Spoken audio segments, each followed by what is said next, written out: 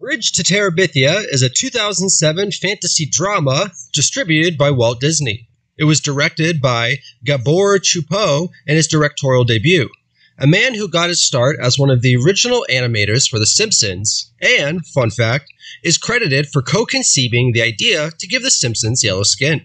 After working as the supervising animation director on The Simpsons for its first three seasons, Csupo would go on to create and produce many iconic cartoons of the 90s and 2000s, including Rugrats, The Wild Thornberrys, and As Told by Ginger. Over the course of his career, which has now spanned several decades, he would only take up the role of director for a few movies, the first being Bridge to Terabithia.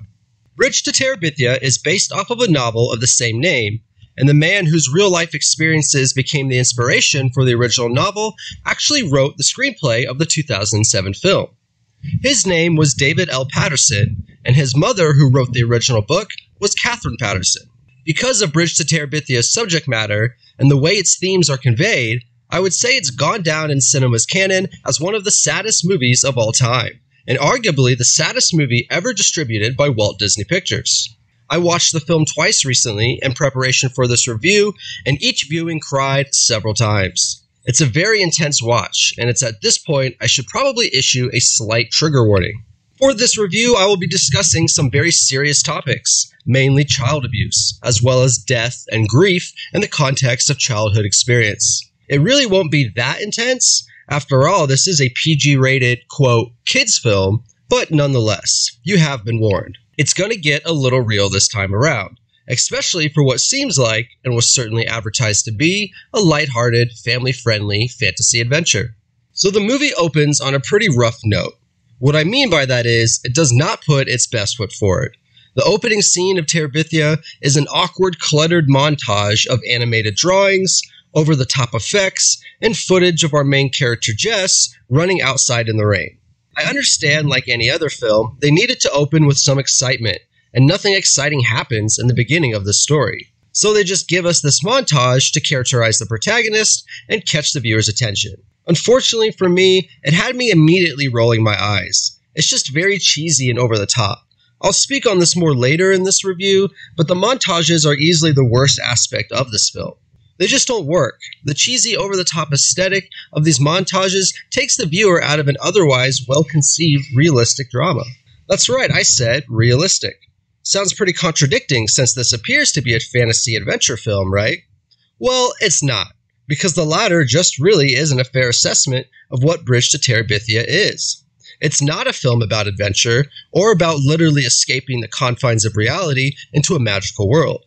It's about pretending to do those things as a means of desperate escapism to cope with childhood trauma. The scenes portraying computer generated magical creatures are few and far between, despite what the trailers for this movie would have you believe, and none of the magic is real. It's all imagined by our characters. More on all of that later. Let's just start with breaking down the plot.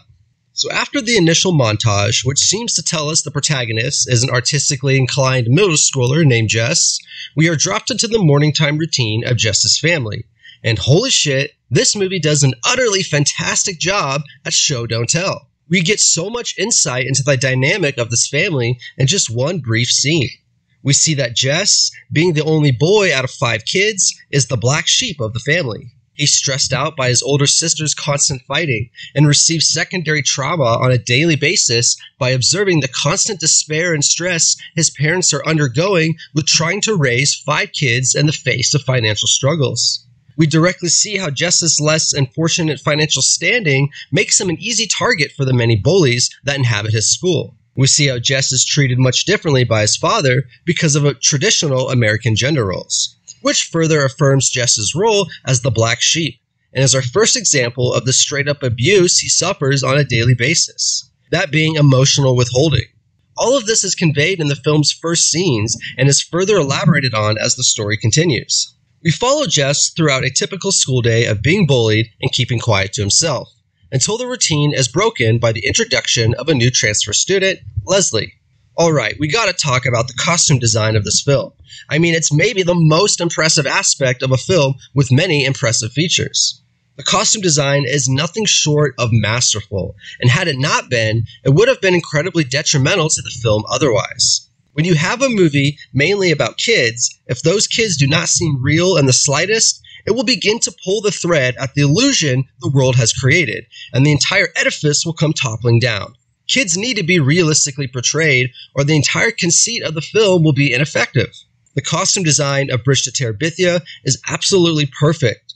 Leslie is immediately characterized so strongly before we even see her speak or do anything, simply by the immense detail and realism of her outfit.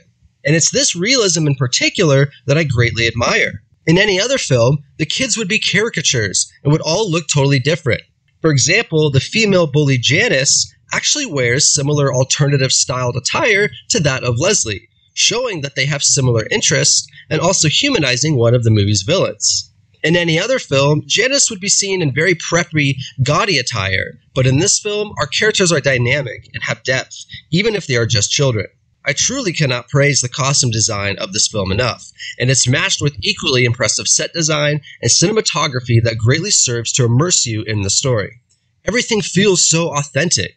The kids speak and act like kids would actually speak and act, which is honestly just such a rarity for movies in general. Even in some of the best films ever made, kids tend to act nothing like kids do in the real world. This is a result of the difficulty in finding competent child actors, as well as screenwriters choosing to write their child characters as one note, with their only purpose being to serve the story. Because of the extreme complexity of children and their range of emotions, it can be very difficult to realistically portray them in fictional stories that typically need to stick to a single consistent tone. Fortunately, Bridge to Terabithia is a passion project, written by those who wanted to share their real life experiences and who value the perspectives that children offer. The writing of this film is brilliantly efficient and consistently overflowing with subtle nuances, foreshadowing, and dialogue which serves to convey many different things at once. Let's take, for example, one of the first scenes in the movie. Jess is going through his sketchbook. We see that he is a rather talented artist for someone who is presumably a 6th or 7th grader. He flips the page to find that his younger sister Maybelle drew in his sketchbook. However, the drawing is not just some doodle of no consequence. It's a drawing of her older brother with a crown, showing that she looks up to him and foreshadowing the role he'll play at the end of the film. Jess becomes enraged and yells at Maybelle.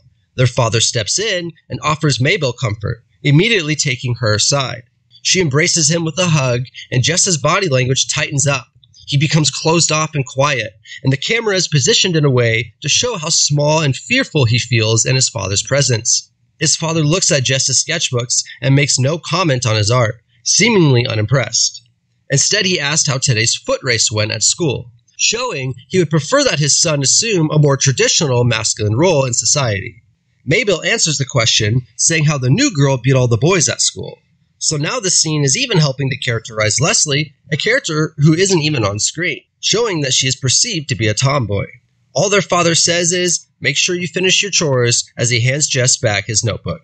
God, what a fucking brilliant scene. Such a realistic depiction of the subtle abuse children often receive from their parents. The emotional withholding, the favoritism, the pressure to fill preconceived gender roles, the requirement to earn affection and love. If this movie wanted to be brash and obvious, we would just get a scene of Jess's father yelling at him, your disappointment, and physically abusing his son. This is why the film, in my opinion, is so fucking good.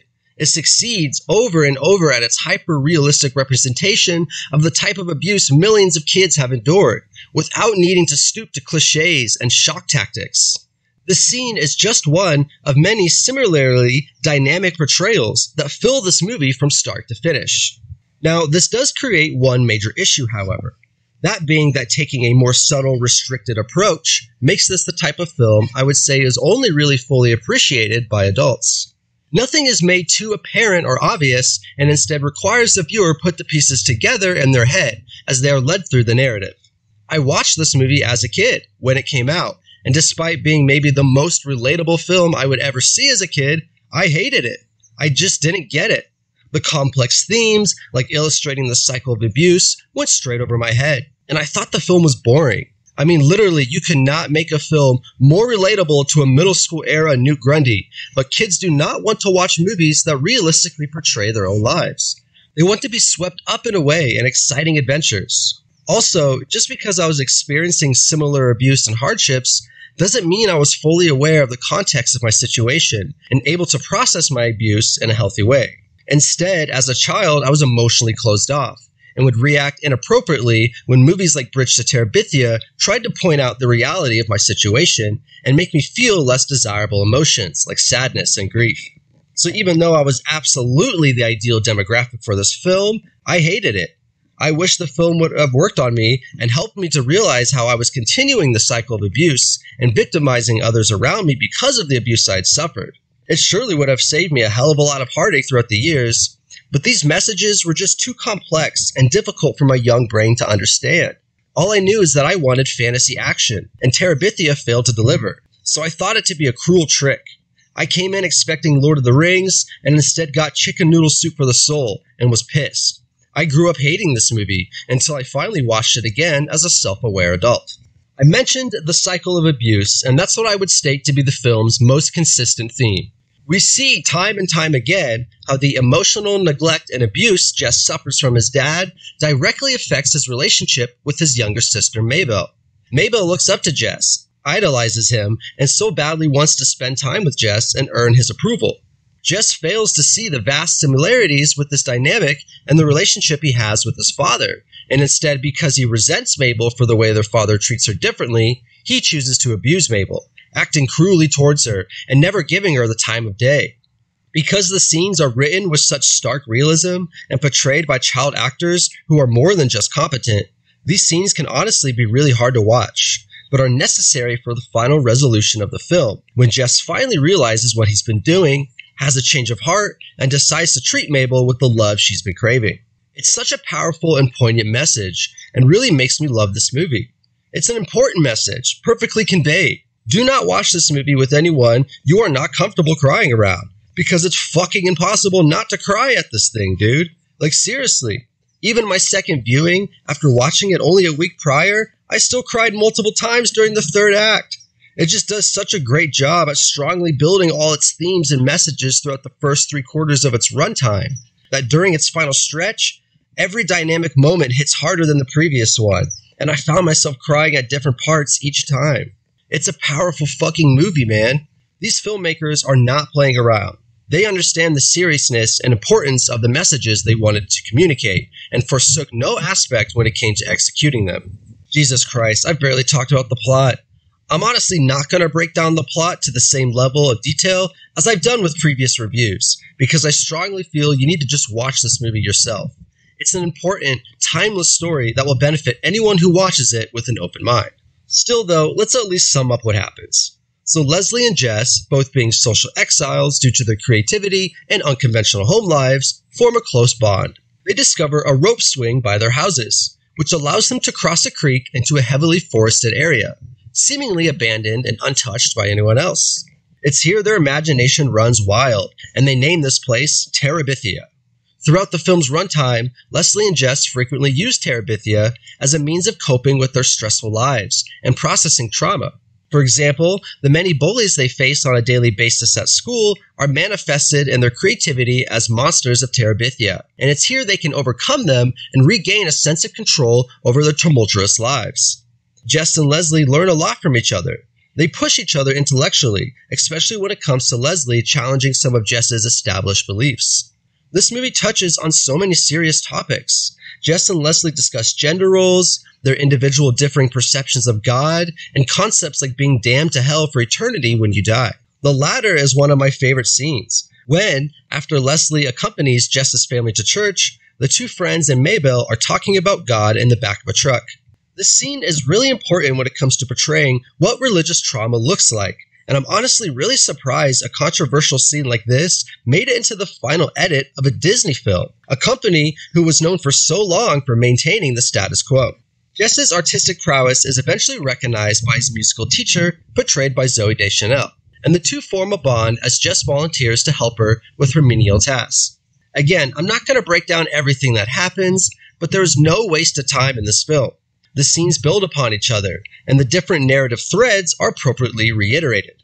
Like, for example, the bully Janice, who over the course of the film turns from just a villain to a much more complex character and eventually an ally to our main protagonist. This does not happen overnight, but rather through a series of different events, making this transformation seem much more plausible. As Leslie and Jess's friendship grows, so does their quality of life. They give each other strength and encouragement, all through the conduit of Terabithian experiences. They become more involved in each other's lives, which opens Jess's mind as he is introduced to new experiences entirely, as well as new perspectives provided by Leslie in regards to his life of tradition and monotony. Of course, throughout the film, Jess's younger sister Maybelle keeps trying to involve herself and be a part of the special relationship, only to be chastised harshly by Jess, who also continues to desperately seek any chances he has to spend time with his father, who is simply not interested in being there for Jess and instead favors Maybelle, basking her in affection as Jess watches from the sidelines. Like I said, the music teacher takes notice of not only Jess's artistic skill and reserved temperament, but his lack of financial privilege as well. And because of this, she invites Jess to join her at the museum. It's a Saturday morning where the teacher picks up Jess, and as they drive off, Jess looks at Leslie's house with a sense of hesitancy and uncertainty. When I first saw this part, my stomach sank as I knew what was about to happen, and that Jess would later use the seemingly insignificant decision to later blame himself for the death of his best friend. That's right, death. After returning from the museum, all hell has broken loose back home. Jess's parents tell him that Leslie has died. The rope swing to Terabithia broke, and Leslie hit her head, drowning in the creek. This, of course, is the turning point in the film, where Jess's life is completely unraveled. Now we have to watch Jess, a young boy, go through the several stages of grief and cope with the effects of Leslie's death. I gotta say, it's a thoroughly realistic portrayal of grief, and it's very depressing watching a young boy go through this, especially since Josh Hutcherson's acting really sells every moment. This isn't pointlessly sad cinema simply for the sake of feeling shitty. Leslie's death ends up being a transformative force in Jess's life, that helps him realize his part in the cycle of abuse and empowers him to stop the cycle, becoming a better person. Leslie's death also works as a catalyst to bring together Jess and his father, finally breaking down the emotional and even physical barriers between them. It even changes Jess's perspective on his teachers and his peers around him. The entire fucking point of Bridge to Terabithia is not to make you feel like total shit because of the death of this sweet little girl. Rather, it's a story of how you should cope with death how you can continue to love the deceased by continuing to love those who are still alive, how you can honor their memories, and what you can do to make your grief bearable enough to want to keep on living.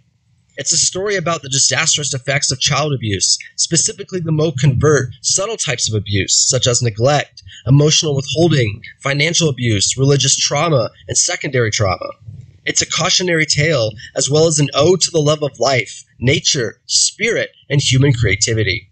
So you're probably thinking, well, you obviously love this movie, so five out of five stars, right? Perfect score? And unfortunately, that is not the case. I must be honest and fair and discuss what I dislike about this film. Let's talk music. The original chamber score, composed by Aaron Zigman, it's great. It's definitely better than average, creating some memorable melodies and reprising its various themes to great effect, emphasizing everything it needs to throughout the film. The issue that I have is the typical Disney method applied to use pop songs made by their young up and comers like Miley Cyrus and Hayden Panettiere. Holy shit, these songs are total fucking garbage and immediately pull me out out of any established immersion the film has worked so hard to build up into that point. I don't even feel bad saying these songs are trash because they aren't even real art. Like they are hyper produced, methodical cash grabs ghost written by dozens of seedy adults who manipulate young kids, promising them the world so they can solicit their young voices, like fucking Ursula from Little Mermaid. These songs use the most obnoxious vocal stylizations and sound engineering techniques possible. It's on par with such shameful genres such as stadium country or soft Christian rock. It's disingenuous, artificial, and truly annoying to listen to. The worst offender is the song which comes in right as the credits roll each time watching this, my face is filled with tears as it's the very end of the film. Every feeling the movie has worked to create, all working together in one final climax, and then I become truly upset and angry when the beautiful moment is completely spoiled by some bullshit Miley Cyrus audio abomination. Both times I had to just quickly shut the movie off and was robbed of a chance to revel in the world and its feelings for a last contemplative moment, which is typically the type of experience credits can offer a nice come down from the intense emotions. but instead they just couldn't resist some bullshit cross promotion and had to use the worst audio stings possible. What's also upsetting is it's just tone deaf and doesn't really make sense with the film's demographic. The film stars a young boy, and these are absolutely not the type of songs a young boy would ever allow themselves to enjoy. Neither are they the type of songs an adult has any interest in listening to either. So who is this for? God, such an awful decision. It happens at least twice in this movie, usually overlaying some cheesy montage, which the film absolutely does not need. And these shameful exercises in filmmaking really bring down what is otherwise a perfect cinematic experience. There's also a fair amount of diegetic music in the score, created by the classroom of singing kids or someone turning a radio on or something. I like the use of these, especially the former, although overall I think the film would have just benefited more from relying more on the original score and not being so varied in its musical choices. Another significant criticism I have is the art design of the fantastical creatures. Some of them aren't bad, like the design of the troll or the Terabithian insect warriors, but for the most part, I find the style to be very off putting and just not appropriate for the context of the film. Like these are supposed to come from primarily, if not entirely, from Jess's imagination, as the film is being told from his perspective. Where are the warriors with big suits of armor and cool looking swords? Where is the edge? Instead of edge, we get awkwardness, like the design of the Scrogers with their weird hats. It's just not cool. It's a weird choice that feels more carelessly random than something created out of inspiration. This awkwardness really comes to a climax during the final scene of the entire movie, where we are introduced to a bevy of different creatures. And oh my god, these designs would look far more appropriate in Neil Gaiman's Sandman than they do here. I mean, come on, they are downright scary like the weird, lanky humanoids that have caged birds for torsos, and the 2007 CGI poorly used to mimic human esque facial expressions creates an unsettling feeling of Uncanny Valley. It's another glaring flaw, which greatly distracts from a final scene that is otherwise incredibly powerful and moving. So, because of these flaws, I'm giving Bridge to Terabithia 4 out of 5 stars. It does not receive a perfect score, but is still, regardless, the current highest rated film I've covered thus far. So it goes without saying that I strongly recommend you watch this movie. I would characterize this film as important, something you need to see, as opposed to something you might just want to see to have a good time. Just don't be surprised when you bawl your eyes out like I did. In fact, I recommend you embrace the cathartic release of emotion. Embrace Bridge to Terabithia and everything it has to offer. If you enjoyed this video, please give the video a like. Feel free to comment below any thoughts you want to share about this week's film or maybe a suggestion for a film you'd like to see me review in the future. For the time being, I'm going to be sticking to the current trend I've established, which is to say, reviewing live action family fantasies, all made in the same brief time period of 2005 to 2010. There was an explosion of these types of Narnia esque films, I'm deeply fascinated by this brief creative cinematic movement. Next week, I'll be covering Secrets of Moonacre, which was actually the film Gabor Csupo directed immediately after releasing Bridge to Terabithia. I also really want to review Star Wars The Acolyte, and maybe some other TV shows as well. But these are obviously a bit more of an undertaking. At some point in the next few months, I will also be debuting my short film Stray. I made it completely all by myself and am immensely proud of the final result. I'm currently just working on painting the title cards. All of this is happening, of course, while I'm undergoing treatment in a residential facility and I'm trying to find a job. So do me a favor, and while you're smashing that like button, send me some positive vibes. I promise I'll return the favor by consistently turning out some quality content. I'm Newt Grundy. Jeremy Irons is a goddamn smoke show, and I'll see you next week. Bye. Bye.